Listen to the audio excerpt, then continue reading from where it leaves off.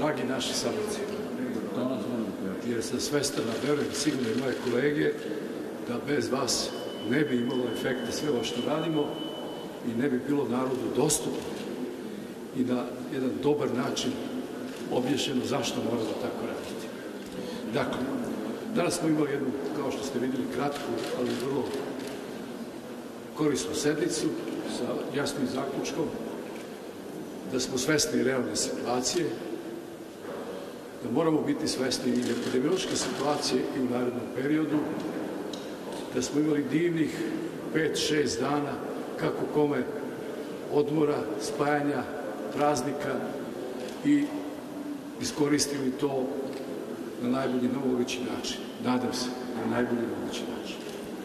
Moramo biti svesni da se sigurno nisu sve mere koristile onim obimom i onim, da kažemo, ozbiljnim primjenama kao što bi se to očekivalo. Bilo je lepo vreme, bilo je mnogo opuštanja i zato je zdravstveni sistem i dalje spreman, kao što je uvek bio spreman, da eventualno za nekih narednih 7 do 10 dana očekuje pojavu onih koji će biti pozitivni, novo potvrđenih i nažalost možda i oboleli. Ali ne kao što smo imali prethodni praznik Sretinski. Ipak očekujemo da će to biti mnogo manje mjera. Ovaj oprez u medicinskom delu kriznog štaba je sasvim normalan, ja verujem da ga razumete. Ali danas smo doneli vrlo jasnu odluku, svi zajedno, da se kafići, restorani, ugostiteljstvo u zatvorenom delu pusti, ali po svim merama poštovanja u zatvorenom prostoru. To znači da se mora poštovati samo do 50% iskorišćenosti prostora, da se mora poštovati razdaljina između korisnika u ugostiteljstvu od metar i pol do dva metra, da se mora poštovati, ne neće biti muzike, da li ona živa ili nije, to je sve jedno, jer i kad je obična muzika ne živa, znači i tada je dosta glasna i ljudi su onda primorani da govore, viču, da bi se čuli, da bi se mogli razumeti, a onda su to sve faktori koji potpomažu življenju. Virus je tu, virus je u našem okruženju, on je kod nas prisutan i moramo biti svesni da sa njim nismo završili, da će nas još dugo čekati jedna teška bolja. Sve ostalo što bi moglo biti predmet razmatranja imat ćemo na sledećoj sednici, sledeće nedelje, kada ćemo pocenjivati na osnovu najnovih podataka, očekujući da prođe vikend, da prođe prvi dan, drugi, da onda možemo videti kakva je stvarna situacija i realno da li možemo očekivati da ćemo biti ipak mirni. Svi želimo da budemo mirniji, da bude smanjenje broja pozitivnih potvrđenih novih, normalno obolelih i vrlo važno imamo i dalje visoku cifru oni koji fatalno završavaju i da se to smanji to znači. Toliko.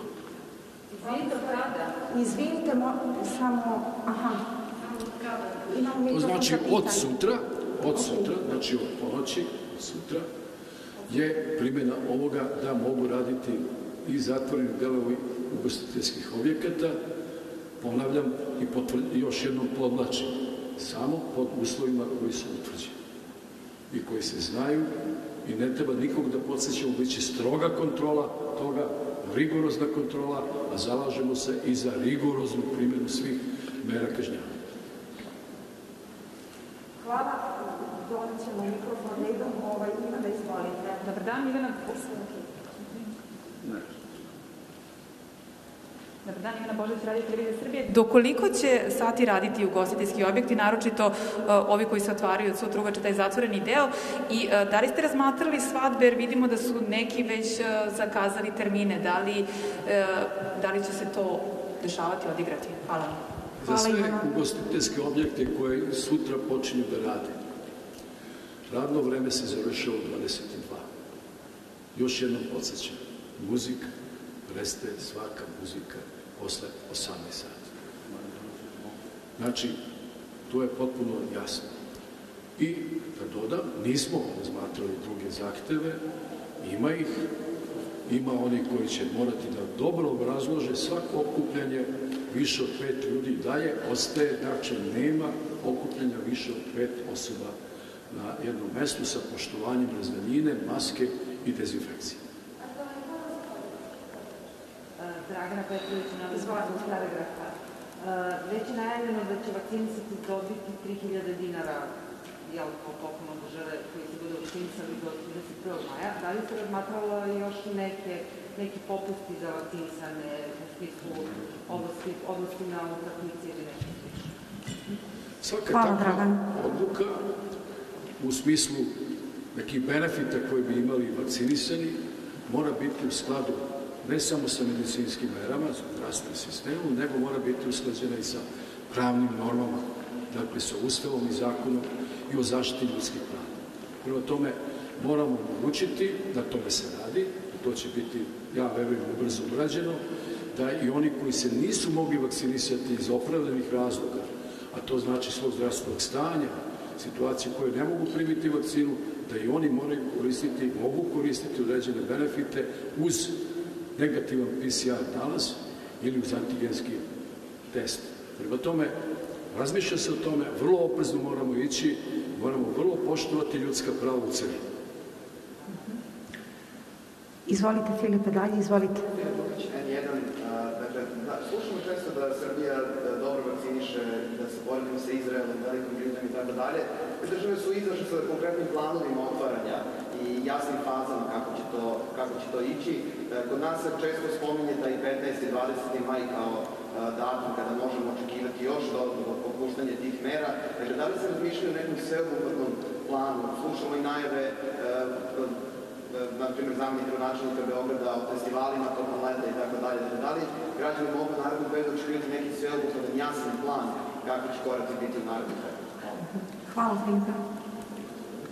Moram da kažem da verujem da ćete razumeti da e, ovaj oprez koji imamo, znate, ne bi smeli da napravimo svi zajedno i mi i stanovništvo greške koje su učinjene preranim opuštanjem. Moramo polako, oprezno i postepeno da to radimo i to samo na osnovu stvarnih, realnih podataka o broju novozaraženih ili obolelih ili, nažalost, i fatalnih završetaka.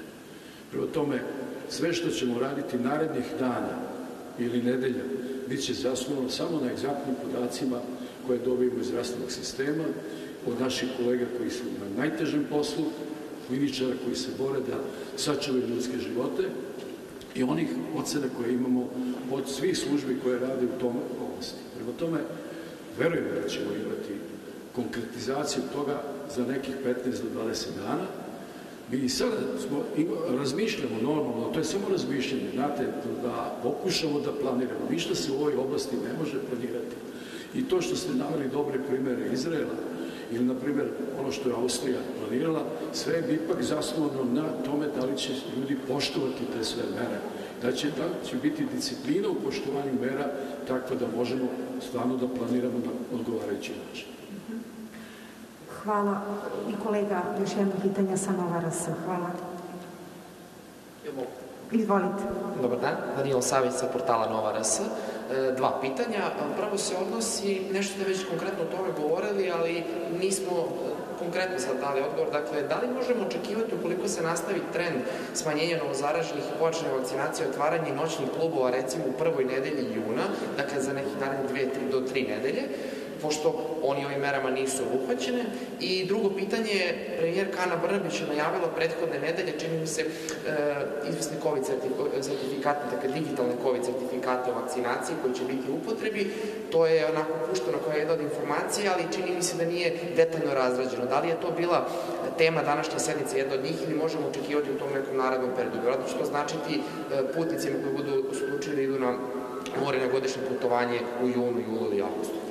Hvala. Hvala vam. Da, prvo ću odgovoriti na vaše drugo pitanje. To sam dužan da mu saopštim, znači doneli smo odluku da svi naši građani koji žive, rade u inostranstvu, a tamo su uredno vakcinisani, znači kompletno vakcinisani, zaštićeni, moći će da uđu u našu zemlju bez ikakvih ograničenja, neće morati da idu nikakav karantin,